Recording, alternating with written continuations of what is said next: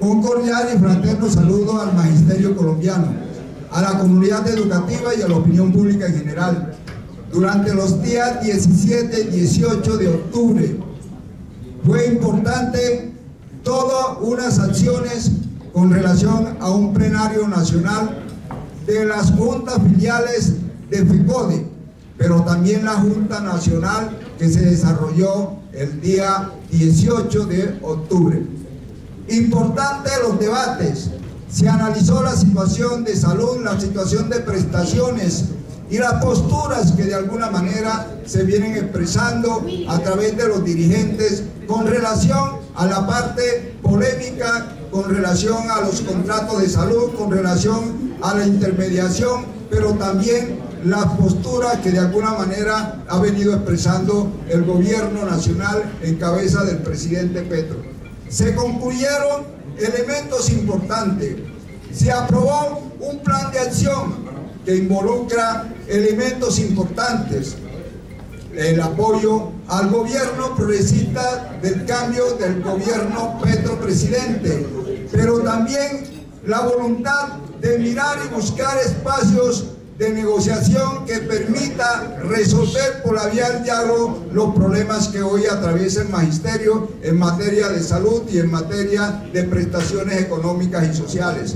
Se plantea continuar, compañeras y compañeros, la exigencia para que los acuerdos de gobierno se cumplan y hay un avance de unas comisiones de cumplimiento porque necesitamos que esas políticas que llevamos a concertación se conviertan en normas públicas, en políticas públicas, en bien de los maestros, en bien de la educación pública y los recursos financieros que se requieren. La ley estatutaria del derecho a la educación es importante que la concretemos para bien del país.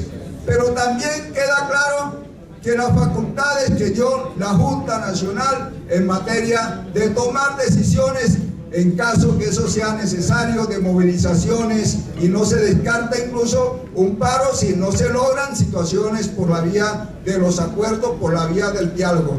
A eso, compañeras y compañeros, los invitamos para que en las regiones de alguna manera podamos asumir el reto de defensa de la ley 91 del, del 89, pero también lo que tiene que ver con el acuerdo 05 que convoca a la contratación y donde hay avances significativos. Propuesta que construyó FECODE con sus estructuradores. Vamos a esa defensa, compañeras y compañeros, pero también se plantea lo que tiene que ver con la, todos los elementos que puedan involucrar un gran proceso que nos lleve para que el fondo del magisterio, tal como lo hemos conquistado, sea una garantía para las prestaciones económicas y sociales, lo que significa la salud, lo que significa las pensiones, lo que significa la cesantía.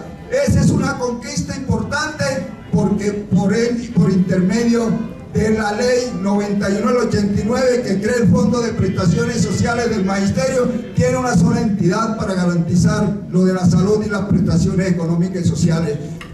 Lo declaramos en estado de alerta a las informaciones y a las decisiones que tome el Comité Ejecutivo de FECODE. Muy buenas tardes y que tengan un feliz día para todas y todos. ¡Viva la ley 91! ¡Viva!